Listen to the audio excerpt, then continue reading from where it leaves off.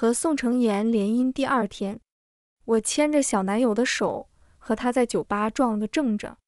他靠在卡座上，身边一左一右两位美女，倒是比我玩得花。我们的父辈都想通过联姻的手段巩固商业版图，刚好他花名在外，而我也不是善茬。我俩一拍即合，我冲这位婚姻合伙人举了一下酒杯，笑道。宋总品味不错呀。他瞥了一眼我的小男友，冷哼一声：“你的品味倒是不怎么样。”小男友将近紧张的后退一步，捏着我的衣角，小心翼翼道：“姐姐，是不是我哪里做错了，惹哥哥生气了呀？”他睁着一双小鹿眼，楚楚可怜的看着我。我当即保护欲爆棚，将酒杯扣在桌上，俯身逼近他，冷笑：“宋承言，我给你脸了是不是？”江静赶忙拉住我。姐姐别这样，千万别为了我惹哥哥生气。阿静不值得姐姐这样的。少年鸦羽一样的眼睫上缀着两滴泪水，无端惹人怜爱。宋承言的脸色更难看了，攥着酒杯的手青筋暴起。温瑜，别告诉我你就喜欢这样的。他身边的妖艳女人也捏住鼻子开口：“什么眼光啊，根本就不像个男人。”我直接一杯酒泼到了他的脸上。再次见面是在宋家老爷子的家宴上，阳台上狭路相逢，他冷笑着将烟折断，讥讽道：“温小姐能抽空回来，宋家真是不胜荣幸。”我也不甘示弱，那两位美女还没把你榨干了。宋少爷果然名不虚传啊！他也不恼，反倒起身上前将我逼至墙角。温小姐此言差矣，虚不虚传，要自己试过才知道。呸！臭流氓！我赏了他一个大嘴巴子。晚上，宋承言自然要和我住一个房间。房间花里胡哨的，大床正中心还用玫瑰花瓣摆出了一个爱心的造型。拉开衣柜，竟然全都是一些不堪入目的睡衣。我脸颊爆红，狠狠瞪了宋承言一眼。这些该不会是你准备的吧？他摸着半边还红肿的脸，咬牙切齿：“是又怎样？”我给我女朋友们准备的，不行啊！算你狠！我把宋承言赶去沙发上睡觉，独占豪华大床。晚上闺蜜默默打来电话，向我邀功。怎么样？我给你介绍的小男友还不错吧？说到这个，我就来气。你可拉倒吧！当初是不是没调查清楚啊？他玩的那么花，我都没说一个字，我才只拉了江静的小手。就被宋承言这个老东西给搅和跑了，默默也有些迟疑，不应该呀，我明明都打听清楚了的。这样吧，实在不行的话，我再重新给你物色一个新人选，怎么样？我总算松了口气，你赶紧的吧，趁现在双方还没有太多利益牵扯，离婚也不容易。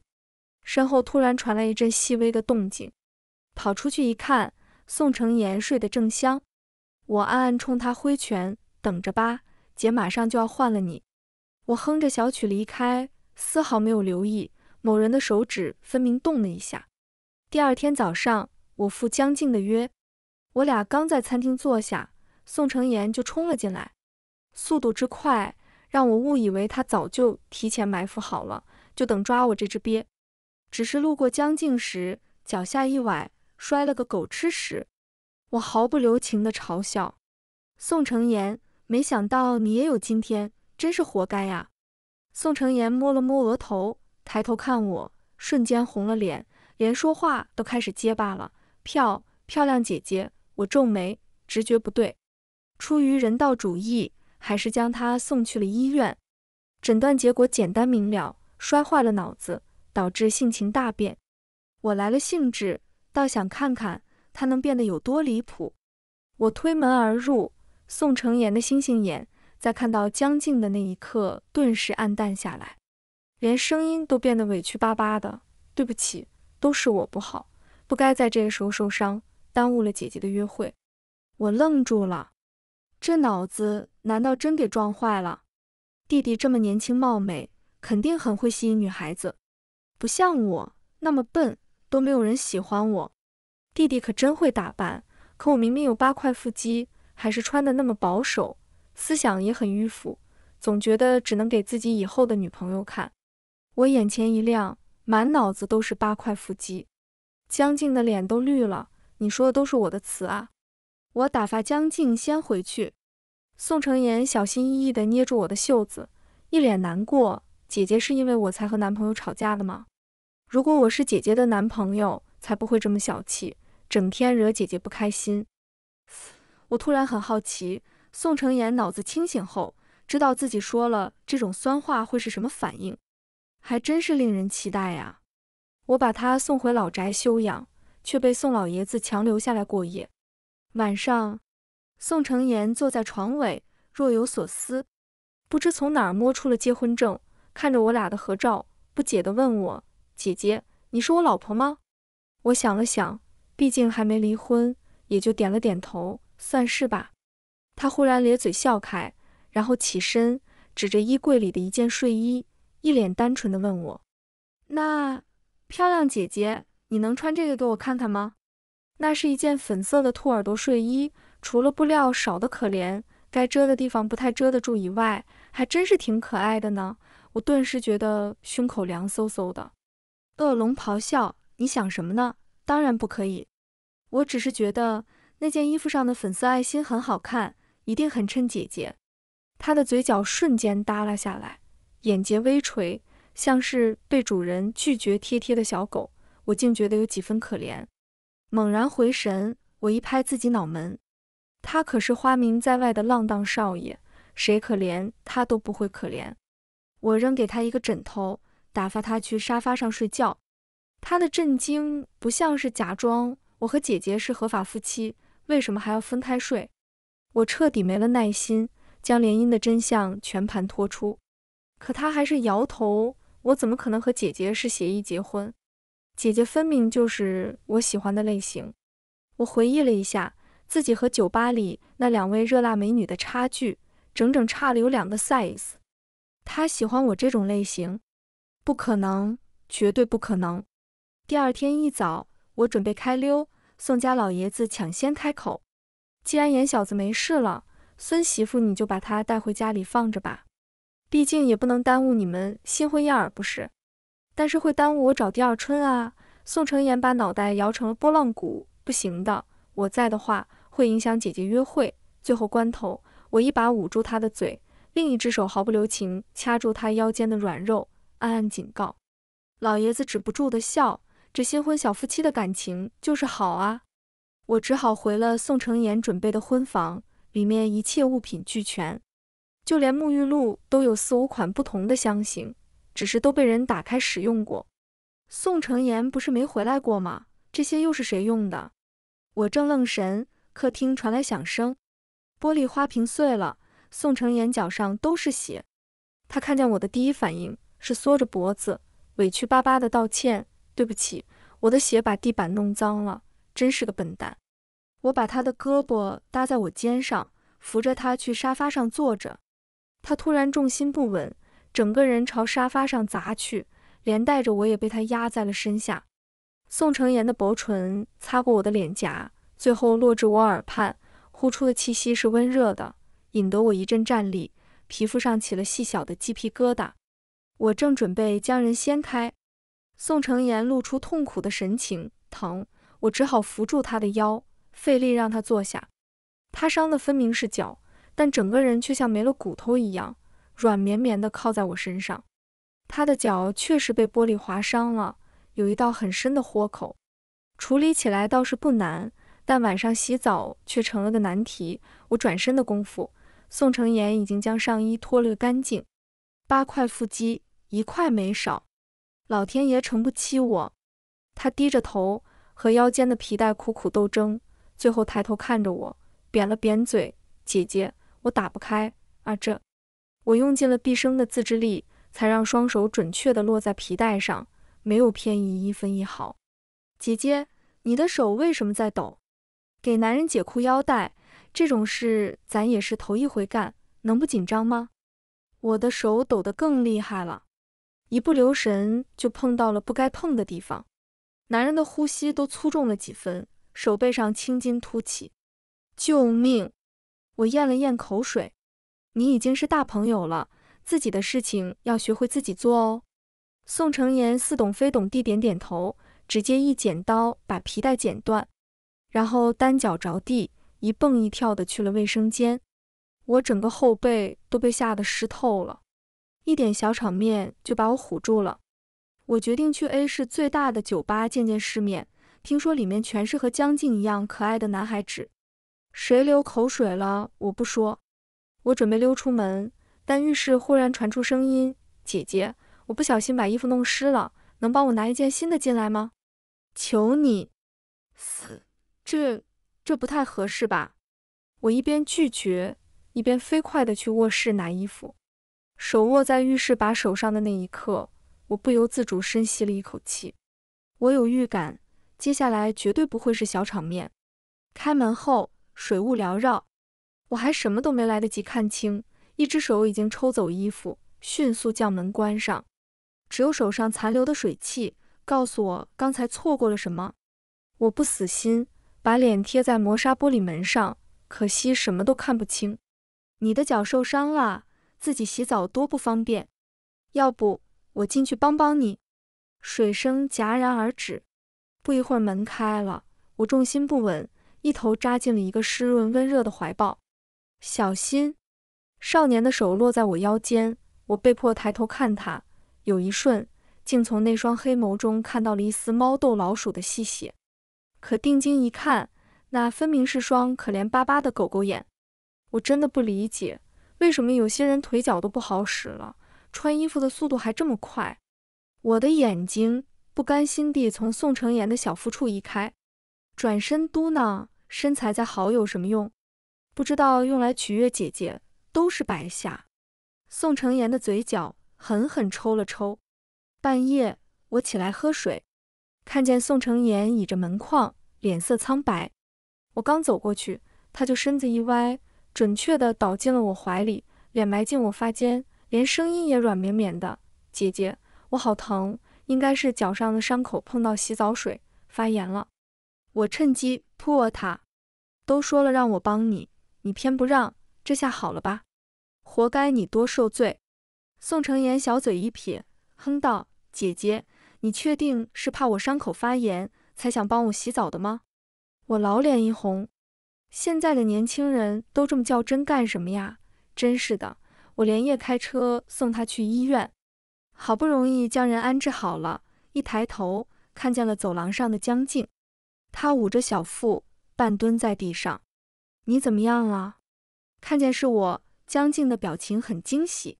我肠胃不舒服，应该是阑尾炎犯了。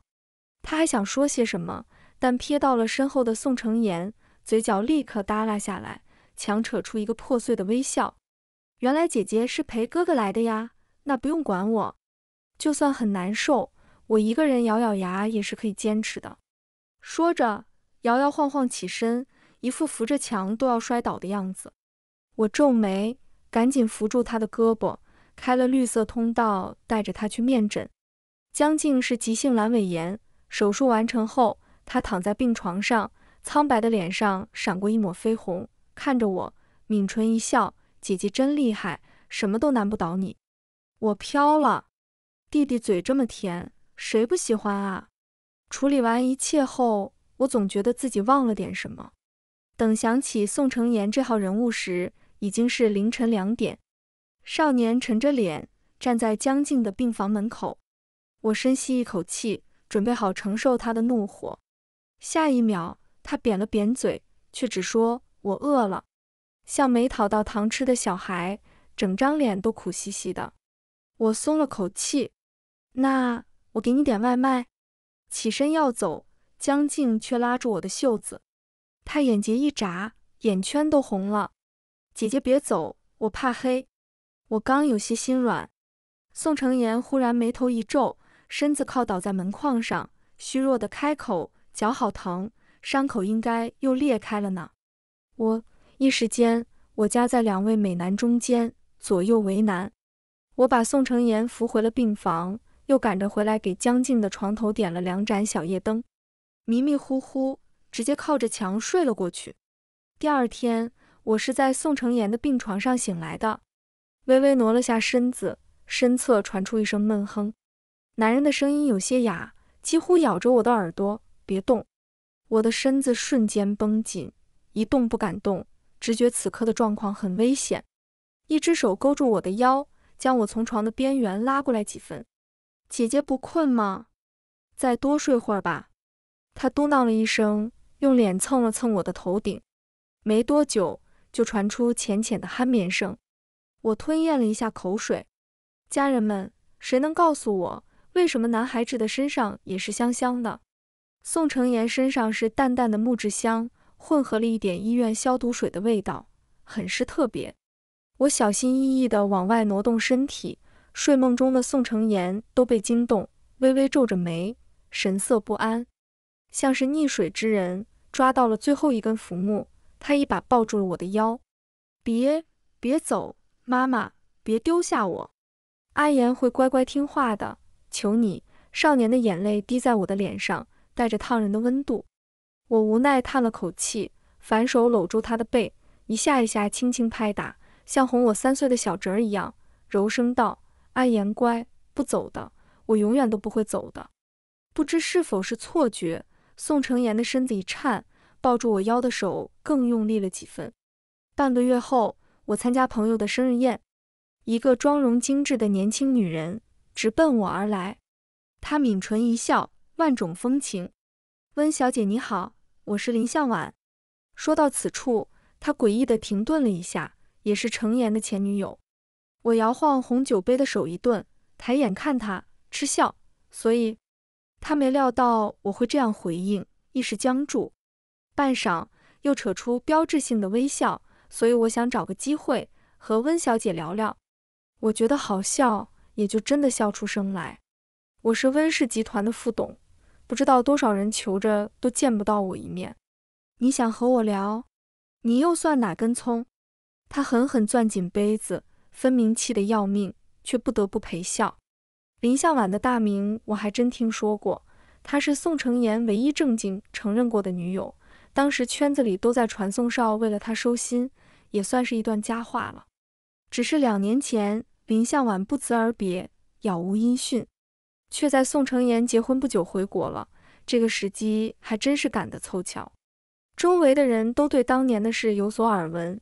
虽然对林向晚的行为十分不屑，但在摸清宋承言态度之前，也都不敢对他太过分。被我对了，林向晚也不离开，只是温顺地站在一边，楚楚可怜。这是铁了心要等宋承言过来给他撑腰啊！我当然得满足他。去，把姓宋的给本小姐叫过来。宋承言喝多了，被两名保镖架着走过来。只一瞬间，林向晚就红了眼睛，像个泼妇一样把保镖打走。你们干什么？怎么能这么对程言？他又扑过去捧住宋承言的脸。程言，你看看我，我是婉婉啊，我回来了。宋承言被吓到了，酒都醒了大半，看着林向晚的眼神像看见了鬼一样。我怀疑这家伙的眼里装了定位器，只一眼就在人群中锁定了我。屁颠屁颠朝我跑来，躲到我身后，用不大不小的声音嘀咕道：“姐姐，这个人长得好难看啊，我怕怕。”众人哄笑出声。林向晚的脸直接涨成了猪肝色。我第一次觉得宋承言的脑子撞坏了也挺不错的。我将他搭在我肩上的爪子拍开，冷笑：“难看吗？你当初可是喜欢人家喜欢的不得了呢。”宋承言急切地反驳：“才不会呢，我才不喜欢他那样的。我一直一直都只喜欢姐姐的。可是姐姐却总是不相信我。”他的声音小了下去，很是委屈。我听着都有些心软了。林向晚更生气了，直言：“温小姐，程言现在是脑子摔坏了，你不过是乘人之危。等他清醒后，自然知道自己最爱的人是谁。你。”笑不到最后的，他露出一个胜券在握的笑容，潇洒离开。是啊，宋承言清醒后，毫无疑问会选择他。虽然我并不稀罕一个男人的选择，但还真被林向晚这个女人装到了。我很不爽，但却反驳不了。这口气我憋了一晚上，越看宋承言越看不顺眼。回家后，他还没眼力见儿的过来要贴贴，我气急了，赏了他一个大嘴巴子，去找你的前女友贴贴去吧。他眨了眨眼，表情茫然，然后委屈的哭出声来。不要前女友，只要姐姐。而后像知书袋熊一样死死抱住我，我挣脱不开，最后两人都力竭，瘫倒在沙发上时，他的两条大长腿还死死缠住我的腰。我突然发现自己好像越发拿他没办法了。林向晚倒比我以为的更加难缠。我开记者会发布会时，他突然从人群中站起。想必大家都听说了，不久前宋温两家联姻。但其中的豪门秘闻，大家又知道多少？记者们的眼睛都亮了，敏锐地捕捉到了今天的头版头条。请问这位小姐，你是知道什么内情吗？请您展开说说。林向晚面对镜头，红了眼睛，请大家一定要为我做主。我和程岩两情相悦，可这位温氏集团的大小姐却趁程岩摔坏了脑子、记忆错乱的时候，连哄带骗的和他结婚。硬生生将我们这对有情人拆散，我苦苦抗争，但人微言轻，根本不是资本家的对手，所以请记者朋友和广大群众一定要为我讨回公道，还给我们普通人一个公平公正的机会。我林向晚在这里对天发誓，我和宋承言才是真心相爱的，任何人都别想把我们分开。话音刚落，一滴眼泪从他洁白的脸庞滑落，好不凄美。大家都被这段坎坷的爱情故事打动，纷纷将矛头对准我。有几个气性大的记者直接冲到我面前，几乎将话筒对到了我脸上。温小姐，请您对此事给出一个合理的解释，否则我们今天就曝光你们宋氏集团的恶行。则，我还真是好怕呀！一个小时后，舆论开始发酵，温氏集团成功登上了头版头条。无非就是歌颂林向晚和宋承言绝美的豪门爱恋，顺带再狠狠踩上我一脚，说我是个不择手段夺人所爱的小三。我随意扫了一眼，就扔下手机，开始处理今天的工作。秘书敲门进来，一脸为难：“温总，宋少吵着闹着要进来，我们实在没有办法。”宋承言冲了进来，双手撑在我的办公桌上，俯身逼近我，气势十足。但一开口，却像只委屈的小狗，声音都带着哽咽。姐姐为什么不肯见我？是相信外面那些女人的茶言茶语，就怀疑我对姐姐的心意了？从未怀疑，本来就没有真心，我怀疑什么？她气势更甚，那为什么公司的人不让我见姐姐？我挑了挑眉，可能是因为你没有预约。宋承言的脸都气绿了。我见自己的亲亲老婆，还要什么预约？他赖在了我的办公室，说什么也不肯走。只要我赶人，他的眼圈立刻就泛红，咬着嘴唇，委屈又倔强地看着我。几个经理陆陆续续进来汇报工作，看到他红肿的眼睛时，神情一个比一个惊恐，那眼神就像是在控诉我，我也是你们办公室 play 中的一环，我的一世英名都要毁于一旦了。我狠狠瞪向宋承言，他却只是无辜的眨了眨眼，抓过我的手贴在自己脸上。姐姐，我是不是又惹你不开心了？你怎么打我、罚我都行，就是别不要我。那一瞬间，我就拿他没有任何办法了。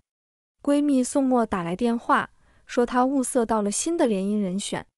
这位塑封产业的继承人是个 gay，但无任何不良嗜好，性格温和。他和你的想法不谋而合，也需要一位婚姻合伙人，承诺婚后不会干涉你的任何行为。可比脑子不清醒的宋承言更加适合成为你的联姻对象哦。确实，他比宋承言要省事许多，我也不用担心再从哪里冒出什么前女友。我正准备开口，手机上弹出了一条新闻：宋氏集团官号亲自下场，手撕绿茶女。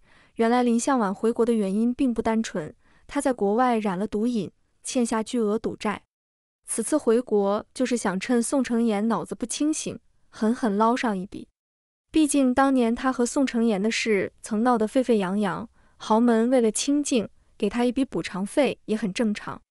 可他没想到踢到了我这块铁板，并且事情的走向也和他预想的完全不一样，所以他才在记者会上铤而走险。可事实上，就连他和宋承言两年的恋爱经历都是假的。宋氏集团的声明上配了一张图，正是一张为期两年的契约情侣合同。两年后合约解除，宋承言将给林向晚五百万作为酬劳。当年他们一起出席活动的次数都寥寥无几，私下两人更是从未单独见过面，连朋友都算不上，顶多算甲方乙方。声明一出，网友瞬间倒戈，搞了半天，原来是这女的自导自演。还往人家正牌老婆身上泼脏水呀？要不要这么离谱啊？这女的真绝，把自己搞成了笑话。我能嘲笑她一整年。我本想过段时间再处理舆论，毕竟捧得越高，才能摔得越惨。而林向晚大概没料到，宋承言的脑子都摔坏了，宋家竟然还能在短时间内找到这些证据。他的谎言彻底被戳破，也该灰溜溜的滚回国外了。等待他的。将是巨额的债款和他见不得光的灰暗的下半生。他原本也是富裕之家，可是后来家道中落，却还舍不得奢靡的生活，攀比成瘾，幻想用赌博来满足自己对物质的渴望，会落到今天这样的下场，也不令人意外。我目光下移，发现声明末尾处还附上了一段视频，点开就是宋承言幽怨的脸，他对着镜头。扶额吐槽：“拜托某人不要再来碰瓷了好吗？比不上我亲亲老婆的一根手指头也就算了，还敢造谣我喜欢的人是他，多大的脸啊！要是害我被姐姐讨厌了，你负得了责吗？”他吹胡子瞪眼的小表情把我给逗笑了。回过神来，才发现默默还在等我的回复。再说吧，鬼使神差的，我敲下了这三个字，犹犹豫豫。一点也不像我的行事风格。宋墨作为我多年的好闺蜜，也很震惊我的决定。她甚至还大胆预言我和宋承言会假戏真做。我也被她的想法吓到了。但第一次开始正式思考我和宋承言的关系了。仔细回忆了一遍，自从他脑子摔坏后，我们之间的相处变得异常和谐。要是一直这么下去，好像也不算太坏。可他这个毛病总会有痊愈的那一天，到时候两人又该怎么收场呢？手机忽然响了，许久没有联系的江静约我见面。其实我对他算不上多么喜欢，只是当初比较满意那张脸，愿意多接触试试。可还没来得及培养出感情，宋承言就摔坏了脑子，恨不得二十四小时粘在我身上。我和江静几乎没再见过，自然而然也就吹了。今天见一面也好，把事情说清楚，对大家都好。地点还是那家餐厅。江静的脸色不太好，她灌了一口酒，苦笑一声：“是不是我不主动，姐姐就不知道找我了？”我想了想，算上今天，才是我们第三次见面。潜台词就是你表现出来的深情，究竟又有几分真心？从前我惯着他茶言茶语，不是因为我不懂。而是我乐意，但现在我脑中不自觉浮现出某人的身影，他笑着朝我撒娇，委屈的求抱抱，动不动就姐姐长姐姐短。家中已经有个不省心的了，外面的花花草草还是早点断干净的好。但我才不承认这是为了宋承言，我只是怕他哭喊天地，再次败坏我霸道女总裁的名声而已。果然被我说中了，江静的表情僵了一瞬。他恼羞成怒，姐姐觉得我是虚情假意，那宋承言呢？我眉头一皱，什么意思？江静的情绪越发激动。我承认，我接近姐姐的目的不算单纯，但宋承言他脑子摔坏了，都是装的，他才是彻头彻尾都在欺骗你的人啊！我只觉得脑子轰然炸开了，久久不能回神。晚上回到家，我只觉得浑身都像散架一样。疲惫不堪，浴室里传来水声，门是虚掩着的。要是平时，我肯定趁机大饱眼福，但现在我完全没有兴致。宋承言，你洗完后就出来吧，我们聊聊。过了半晌，他才低声回应：“好。”他甚至没有擦干净身上的水，穿了条短裤就出来了。我打开手机，播放了一段视频。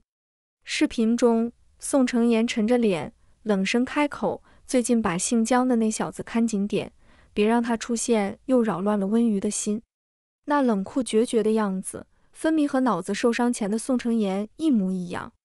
我们领证已经两个月了，而视频的拍摄日期是在一个月前。你还有要解释的吗？他张了张嘴，却一个字也说不出来。我温瑜这辈子最讨厌被人当成猴耍。我连夜回了自己市中心的大平层，却一整晚都没有睡着，也没有收到一条宋承言的消息。第二天一早，打开门，一道人影被大门直接拍在了墙上。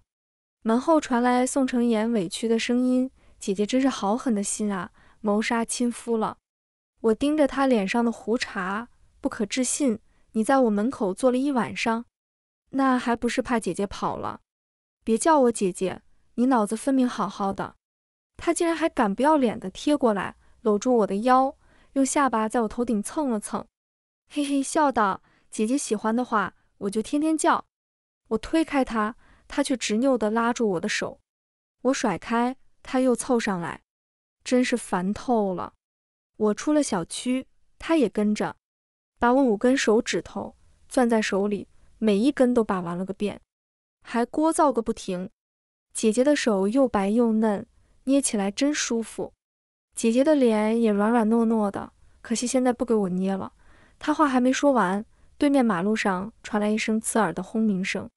一辆货车撞开围栏，向我们冲了过来。小心！宋承言牵住我的手，顺势用力将我甩了出去，而下一秒，他却倒在了血泊中。最后那一刻，我直视他的眼睛，分明全是真心和诚意。怎么之前我就是看不到呢？宋承言进了抢救室，我蹲在墙角，脑中和宋承言的过往历历在目。姐姐。这个人长得好难看啊！我怕怕，我才不喜欢他那样的。我一直一直都只喜欢姐姐的，可是姐姐却总是不相信我。拜托某人不要再来碰瓷了好吗？多大的脸啊！要是害我被姐姐讨厌了，你负得了责吗？明明他从未掩饰对我的心意，明明他一直都热烈无畏地靠近我，是我的错，是我发现的太晚了。宋承言在抢救室待了多久，我就在走廊上哭了多久，直到警察出现，说抓到了幕后凶手。等该今天下午出国的林向晚策划完一切后，准备逃走，警察在机场蹲守了一个小时，将他逮捕归案。心脏像是被一只大手捏住了一样，痛到无法呼吸。都怪我活得太骄傲，一直以来都轻视这个女人，从未将她放在眼里。如果我再警惕一些，这一切是不是就不会发生了？宋承言是不是就会一直乖乖跟在我身上？姐姐长，姐姐短了。一瞬间，悔恨的情绪将我整个人都吞没了。一个阳光明媚的午后，我脸上忽然痒痒的，一睁眼就对上了宋承言的眼睛。少年脸色苍白，却毫不犹豫朝我咧嘴一笑：“吵醒姐姐了吗？”他收回手。自顾自地解释着，感觉这一觉睡了好久，还梦到了姐姐，所以刚才没有忍住，才捏了姐姐的脸。是我不好，整整一个月，我守了她整整一个月呀，才再次听到她的声音，一瞬间我就红了眼眶，急切辩解：“你才没有不好，你一直以来都很好很好的。”他看着我，表情错愕：“姐姐，你这一次……”我不打算再回避，只是他的眼睛。一直以来都是你在表白，这次换我来。我们认真试试吧，从一场电影开始，从一次约会开始。我们可以牵手，可以接吻，和所有情侣一样，去所有情侣喜欢去的地方。你爱撒娇也好，秀恩爱也好，我都陪你一起。宋承言，我喜欢你，我们在一起吧。番外男主视角。温伯伯家有一个小姐姐，分明只比我大两岁，却稳重又能干，不像我只会撒娇，还动不动就爱哭鼻子。爸爸总是拿她来数落我，说人家考试又得了年级第一，说人家竞赛又得了一等奖，他就是别人家的孩子，把我衬托得一无是处。十岁之前，虽然从来没有见过面，但我对这个姐姐打心底里讨厌。第一次见面是在她的生日宴上，她穿得像个小公主，神情倨傲，一出场就是全场的中心。装什么装啊！我对她更讨厌了。当天下午，老师给我爸爸打电话汇报了我的期中成绩。爸爸嫌丢人，气急了，给了我一个耳光。我捂着脸偷偷跑出去，一个人蹲在角落里哭。不知道哭了多久，等我再进去时，蛋糕已经分完了。我有些失望，低着头站在一边。眼前突然出现了一双公主鞋，是那个讨厌的小姐姐。没想到她的声音竟然这么好听。给你的蛋糕，我瞪大了眼睛。原来她注意到我偷跑出去了。原来他还特意给我留了块蛋糕。我突然觉得他好像也没有那么让人讨厌了。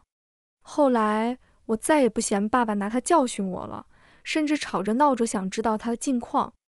他得了第一，他拿了一等奖，我都会很骄傲。看吧，这可是给了我蛋糕吃的小姐姐，就是厉害。不知不觉中。我开始习惯追随他的步伐，逐渐把自己也伪装成了和他一样成熟强大的样子。我以为这样我就能靠他更近一点，但是没想到这样成熟稳重的姐姐竟然会喜欢江静那种动不动就红眼睛的小绿茶。我太生气了，生气到一半，忽然反应过来，我自己以前好像就是这样爱哭鼻子、爱撒娇的小绿茶呀。我决定了，做回自己。夺回姐姐的心。